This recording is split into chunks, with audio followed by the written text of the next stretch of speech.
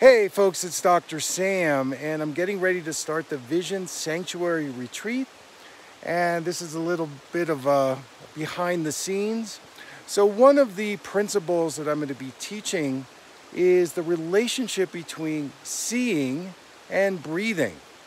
For many of us, we don't do a full inhalation exhalation because of our stress patterns and this really impacts our vision. We tunnel, we pull in, we tighten up, we can't receive. So, one of the practices we're going to do is expand our breathing. Okay, everybody, more later. Take care.